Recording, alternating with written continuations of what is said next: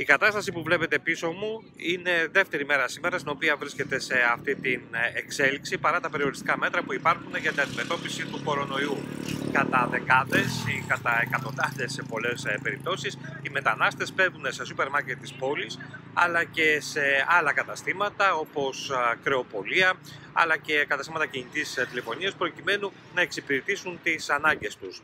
Συνοστισμός, ο οποίος δημιουργείται από το γεγονός ότι είχαν να πληρωθούν κάτι παραπάνω από 1,5 μήνα από τα τέλη του Φεβρουαρίου. Η πληρωμή τους πραγματοποιήθηκε πριν από δύο ημέρες.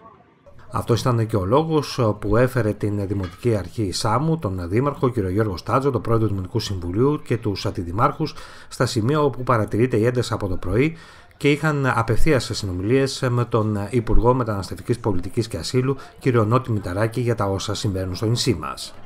Η κατάσταση που βιώνουμε αυτή τη στιγμή στην πόλη της Σάμου, σε όλα τα σούπερ μάρκετ, είναι απαράδεκτη. Θεωρώ ότι θα πρέπει το Υπουργείο Μεταναστευτικής Πολιτικής και Ασύλου να επέμβει άμεσα, όπως και ο αρμόδιος εισαγγελέας. Δεν μπορεί εν μέσω αυτής της κρίσης και του θέματος του κορονοϊού να συμβαίνουν αυτά τα πράγματα. Βρισκόμαστε στην οδό Γυμνασιάρχου Κατεβαίνει. Ακριβώς από πίσω μου, εδώ υπάρχει και λειτουργεί ένα κατάστημα τροφίμων. Και εδώ η ίδια εικόνα.